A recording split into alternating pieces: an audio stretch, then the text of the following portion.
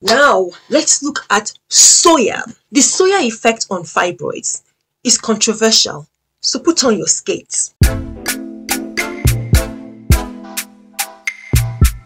It's thought that high soya consumption makes fibroids grow and makes fibroid symptoms worse. But Contrary to this popular belief, moderate consumption of soya products that contain phytoestrogen may have a protective effect against fibroids in some cases. According to a paper from the Harvard School of Public Health, soya is unique in that it contains a high concentration of isoflavones, that's a type of plant estrogen. It works in a similar way to human estrogen but with much weaker effects. These soya isoflavones can bind to estrogen receptors in the body and they can cause either weak estrogenic or anti-estrogenic effects. So when you eat them, they may alter the estrogen production one way or the other and affect the balance contributing to fibroids growth.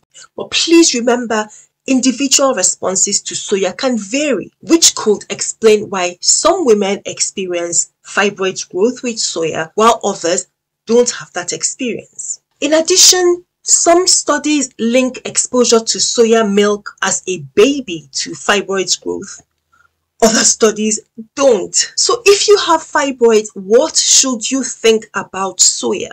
Some studies have shown a significant link between soya and soya milk products and the growth of fibroids. Some have not. The bottom line, if you like eating soya products, avoid excessive consumption. Next, alcohol caffeine and tea. This is another area where study findings are also controversial. Let's start with alcohol. One study linked the current use of alcohol and consumption of 20 years or more to a higher risk of having fibroids. When we're talking about different types of alcohol, beer is more related to fibroids growing than wine or liquor. In another study, surgeons found out that they were carrying out more operations for fibroids on women who consumed more than 20 grams of alcohol daily.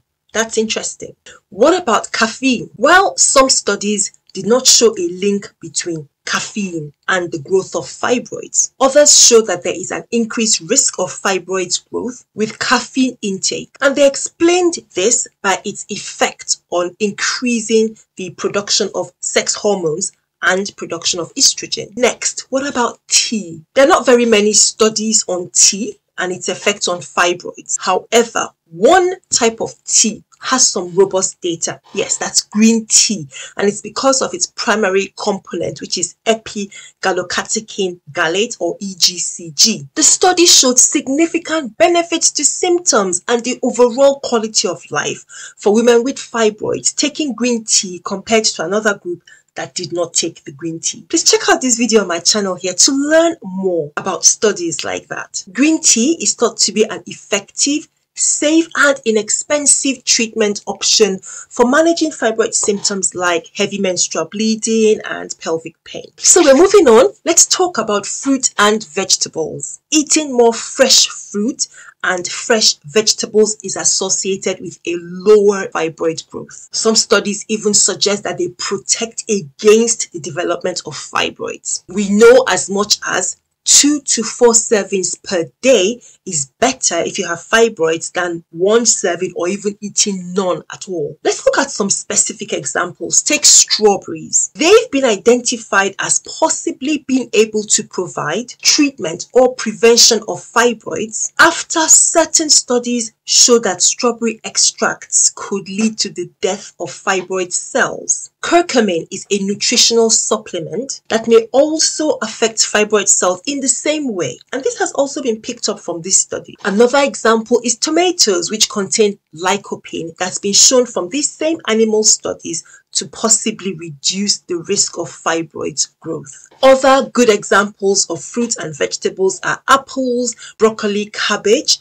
citrus fruits like oranges and grapes, pineapples, spinach, lettuce, beans and legumes, potassium rich foods like potatoes, bananas, avocados, and more. So let's head on now and talk about vitamins. Can vitamins cure fibroids? Now, vitamins are micronutrients which we recognize for their effect on many of our body's functions. But when it comes to the association between vitamins and fibroids growth. There are actually only a few studies of vitamins with the exception of vitamin A and vitamin D. So these have told us that low amounts of vitamin A from animal sources are related to increase in fibroids growth. They didn't find this link for fruit and vegetable sources of vitamin A. So some of us will find that if we have low vitamin A, that is associated with the growth of fibroids and symptoms. To date, there's been no link between fibroids growing and vitamins or supplements like folate, vitamin C, or vitamin. But by far, the biggest vitamin studies are around vitamin D,